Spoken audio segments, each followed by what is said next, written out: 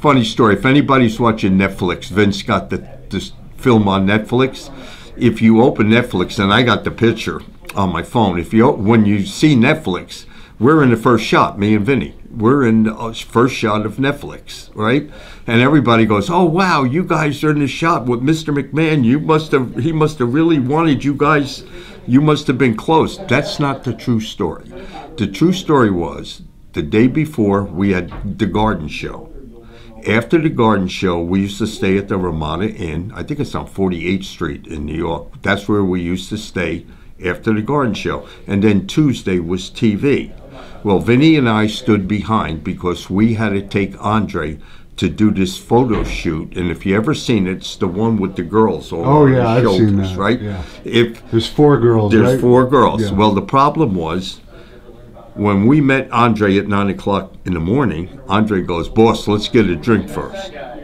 So we're going. We got to go to this. Sure, oh, only one, boss, only one. Well, not only did Andre start drinking, me and Vinny start drinking. But anyway, now it's like 11, 11.30. We're supposed to be there like 9.30. And if they're contacting Vince because we had no cell phones then. There was no cell phones. So they're calling Vince. Vince is trying to get a hold of us, right?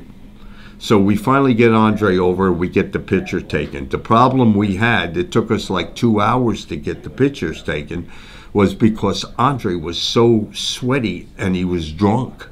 He was so sweaty that the girls kept sliding off. So you can't see it in the pictures, but Vinny and I are holding girls' asses up in the back of that so they don't slide off off of uh, his shoulders. So uh, we we go through that. So now the next day we have to that that night we get in the car and we drive with Andre to Allentown, Pennsylvania.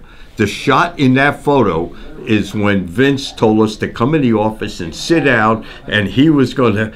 We thought we were fired. Vinny and I walked in here believing we were fired, you know. And the father said, "You guys, you, you if this is what you want to do, if this is the way you think you're going to get into this business and be successful, you have no idea what you're doing."